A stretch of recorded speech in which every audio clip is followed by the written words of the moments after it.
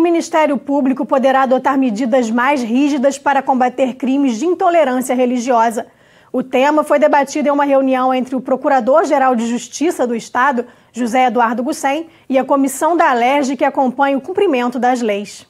O Ministério Público poderá adotar medidas mais rígidas para combater crimes de intolerância religiosa.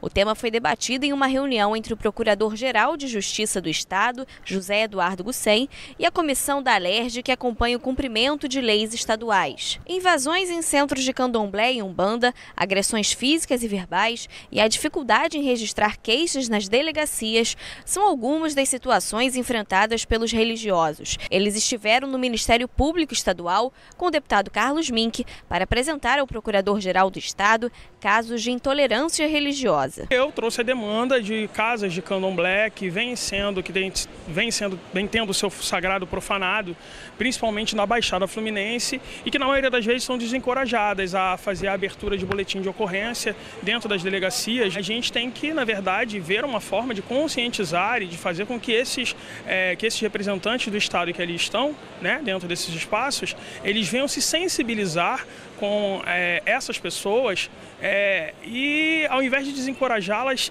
na verdade, acolhê-las. Já existe no Estado uma lei do deputado Carlos Mink que garante que delegacias registrem casos de intolerância religiosa como crime.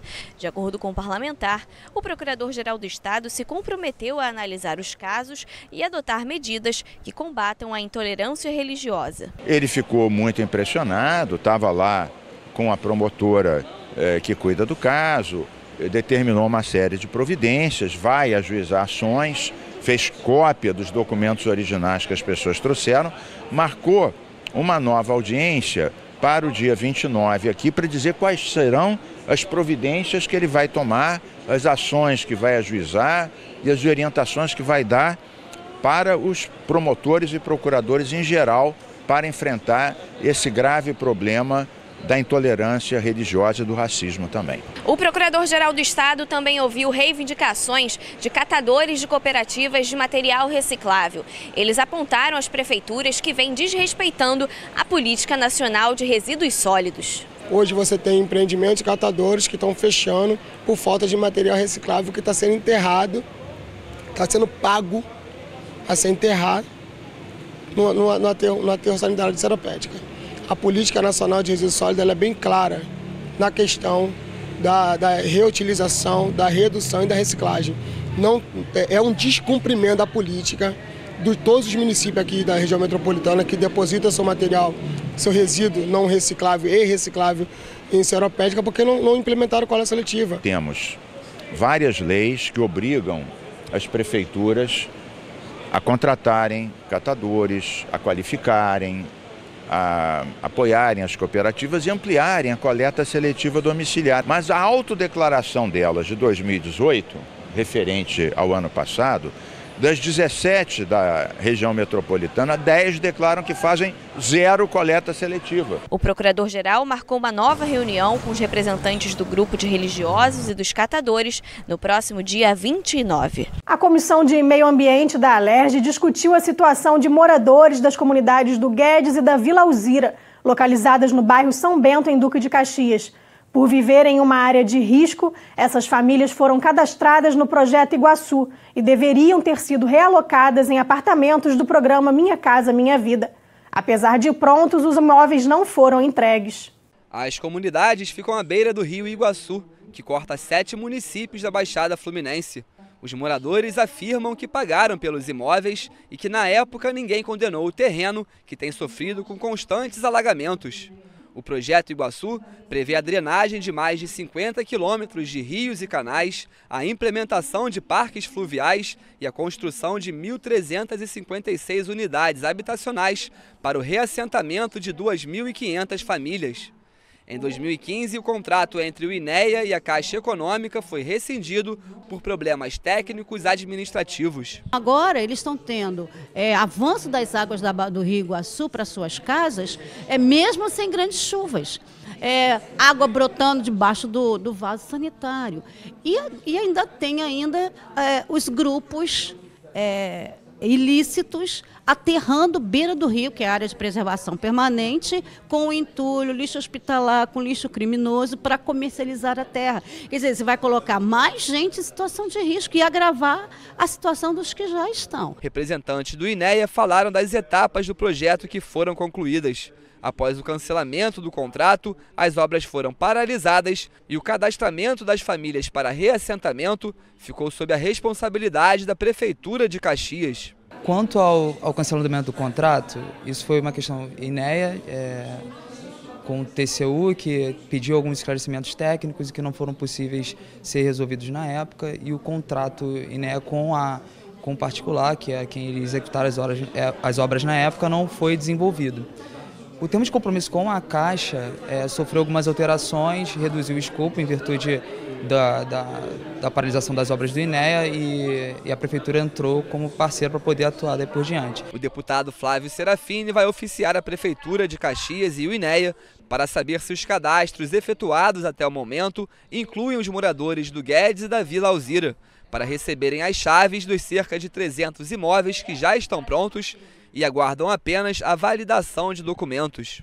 Como a Prefeitura de Duque de Caxias ainda não faz parte desse entendimento e ela é parte central do, do, do que o empreendimento se tornou, a gente precisa dissecar esses cadastros para cobrar uma explicação da Prefeitura de Duque de Caxias por que, que não tem procedido priorizando a comunidade local se a construção do projeto naquela localidade estava diretamente relacionada ao reassentamento da comunidade ali de São Bento. Indicados pelo governo para ocupar cargos de conselheiros da Agência Reguladora de Transportes do Estado, a AGETRANSP, foram sabatinados na terça-feira por deputados durante reunião da Comissão de Normas Internas da Alerj. O governador Luiz Fernando Pezão indicou três nomes. O ex-deputado Carlos Correia foi reconduzido ao cargo, que ocupa desde 2014. Segundo ele, nos últimos anos, a agência desenvolveu um trabalho de excelência. Um exemplo destacado foram as multas aplicadas. Segundo o conselheiro, ao longo de 15 anos, 900 mil reais em multas foram arrecadados anualmente. Já nos últimos quatro anos, esse valor aumentou para 8 milhões anuais. Não é aplicar multa por aplicar multa é, fiscalizar mais. Então, houve uma fiscalização mais adequada, mais permanente, mais de excelência, que levou de 900 mil ano nos últimos 15 anos para 8 milhões ano nos últimos quatro anos. Né? Uma diferença de mais de 1.200% né, nesse crescimento além de outras atividades que foram feitas pelo antigo conselho. A indicada Aline Paola Braga é advogada e desde 1998 integra a Procuradoria do Estado, além de atuar como professora universitária. Ela informou que sempre se dedicou ao estudo de contratos administrativos e está feliz em colocar em prática tudo o que sabe. O, o, transporte é efetivamente o móvel principal que pode trazer um desenvolvimento para o estado do Rio de Janeiro. Eu fico muito feliz, muito honrada por ter sido indicada para esse cargo né, junto à Aja Transper. O advogado Murilo Provenzano, que hoje ocupa um cargo na Secretaria Estadual de Governo, elogiou o perfil heterogêneo dos candidatos a conselheiros e acredita que juntos vão fazer um ótimo trabalho. Se esses nomes forem aprovados, eu acredito que cada um, com sua experiência de vida, sua experiência profissional, comprovadamente como determina a legislação, vão ser de fundamental importância para o crescimento e evolução do serviço da agência. Todos os indicados ao conselho da AGETRANSP foram aprovados durante a sabatina. As indicações ainda precisam ser avaliadas pelo plenário da Alerj em mais uma votação. Isso aqui, na verdade, não definiu nada a definição vai ser sempre do plenário, o plenário é soberano e a grande maioria dos deputados é que deverão acompanhar ou não o que for, foi feito, o que foi dito aqui na Comissão de Normas Internas e Proposição Externa. Na quarta-feira, o Fórum de Desenvolvimento Estratégico do Estado debateu as oportunidades de produzir energia a partir de biomassa.